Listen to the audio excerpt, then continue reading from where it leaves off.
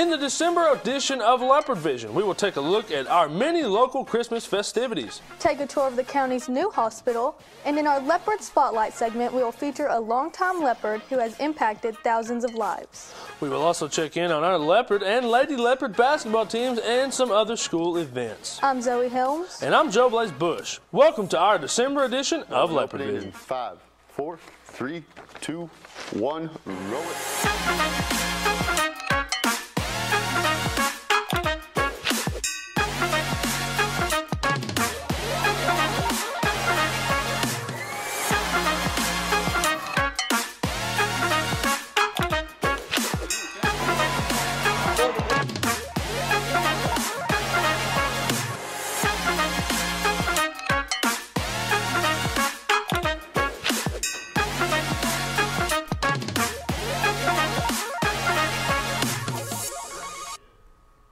Christmas, everyone. We are just a few days away from lots of presents, great food, and my favorite, a two week break.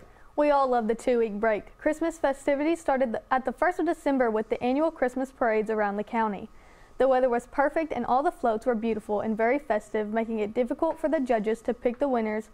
In the non religious category, our De Queen High School cheerleaders placed third, and the 4 H Club was named the winners for their float named Going Showin'. In the walk, dance, march groups, our De Queen High School band placed second. One of the most impressive groups in the parade were members of the St. Barbara Catholic Church. Each Christmas they come together to honor the Virgin Mary. The members of the La Danza have spent countless hours practicing for their favorite time of year. Here's Deontay Vieta with more. Throughout the months of November and December at St. Barbara Church, La Danza members come together to show devotion to the Virgin Mary. Here's an inside look on La Danza Guadalupana. Um, I in the red group. I've been dancing for eight to nine years. Like, like I compare all the dances, like when where we all dance for Amorenita, where we all come together, uh, we dance, and the saddest part is like where we all say like bye to each other. I dance with the guys group, and I've been in it for about four years. Uh, to me, it's kind of tradition and culture, part of uh, something I've always grown up with and I've always seen, I always dance with, and it's just part of uh, what I do in the winter during December. Uh, I feel it's pretty cool when you're dancing it, especially when it's in front of people, but more for what it's for, for La Virgen de Guadalupe, that we dance for her, and it's just really a great thing to do. Uh, well, I always come to practice, and then when the day of, normally I always go to like the church, and then when we dance it, we practice it, and it's just fun thing to do. I'm in two groups. I'm in the blue group and in the white group. I've been in it for a while, over 10 years. Okay, well, we dance here at church, outside, and we dance from the school to the church. I'm actually the leader of the blue group, where we wear blue. Um, our group has going to be seven years since we started, but I've been dancing since I was seven years old, and now I'm 23. Uh, the danza means a lot of things to me. Uh, mainly, it means a lot of tradition, uh, a lot of culture, and it's just something special to me since I was a little kid. So it means a lot to me. So when I was little, it really caught my attention, and I don't know, something about it is just kind of like special to me. So I've always been called to do it ever since I was small. Mainly, a lot of the food is something I enjoy, but just kind of dancing all around in general is something that feels really good on the inside. As you can see, these dancers have put in a lot of work to honor the Virgin Mary. Reporting for DQTV, I'm Deonti Valeda. Speaking of dances, the Daddy Daughter Winter Wonderland dance took place Thursday, December 8th. Show Choir hosted the dance as a fundraiser for future events. The Daddy Daughter dance for primary students was a huge success with lots of dancing, pictures, hot cocoa, and special memories being created, while DJ Pedro Sanchez ran the turntable. The first Daddy Daughter dance was a hit and hopefully will become an annual event. The Leopard Band played an inspiring show last Tuesday with band members from 6th through 12th grade showing off their skills. Students in band wore elf and Santa hats as well as ugly Christmas sweaters just like ours. The band played lots of Christmas favorites and also sold baked goods to raise funds for students going to band camp this summer. Adrian Martinez tells us more. We all know our Leopard Band had an amazing marching season, but they have been very quiet ever since. How have they been doing, you may ask? We spoke with our three band directors to get a little look inside of it.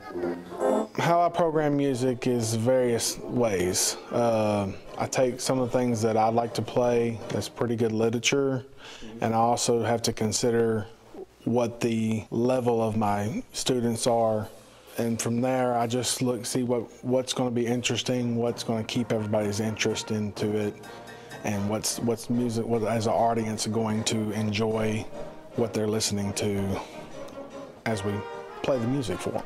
I know they will do a fantastic job. They put in a lot of hard work and effort into getting ready for the performance, and I could not be more proud of them. They're going to do a great job. It, they make my job easy. Um, it's a Christmas concert coming up on Tuesday, and it'll be an emotional roller coaster. We're playing a slow, heavy first piece called Santa the Barbarian, and then we're ending with a fast, difficult, light, and festive Deck the Halls with Chips and Salsa, and that's kind of our finale. The kids will do great. They've done great so far. I'm super proud of them. I'm very excited to see how they do Tuesday night. As you can see, our concert band has made a lot of progress this year, and our band directors are very proud. Reporting for DQTV, I'm Adrian Martinez. DQTV is excited to launch another feature segment to go along with our Day in the Life of a Leopard. This new segment is titled Leopard Spotlight, and it will highlight special members of our leopard family. Ashley McCullough introduces us to December's star. This month, we are shining the spotlight on our Vice Principal, Mr. Murray Neely. Born and raised in our small town, he has been a member of the Leopard family for more than half a century. Working with Mr. Neely has been a pleasure. He is definitely the voice of the leopards, the history of the leopards. You can ask that man for anything and he'd, he'd give the shirt off his back to you just to help you out. He cares about the students, he cares about our teachers. He's impacted thousands of lives that have uh, walked these halls here at De Queen. I've been a leopard four years in high school and 46 years teaching, assistant principal, coaching. A lot of us that walk the halls here at De Queen Public Schools know him as Coach Neely, while a lot of the students know him as Mr. Neely. Going through the school system, uh, knew who he was. He was a coach here since I've been going to De Queen. I started in kindergarten, so uh, I mean I've known Coach Neely my entire life. I met him in 1982 when we moved here to De Queen. Uh, my dad got a coaching job here. Him and uh, Coach Neely were the track coaches together.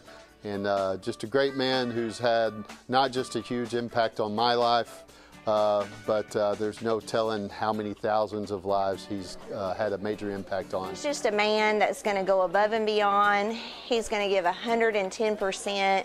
And the, the man honestly can just run laps around all of us. He's got so much energy. I'm very proud to come from DeQueen, Arkansas, and have finished in DeQueen High School. My sisters and I all finished at DeQueen. I grew up around here and I was fortunate enough after military service to get finish college and come home.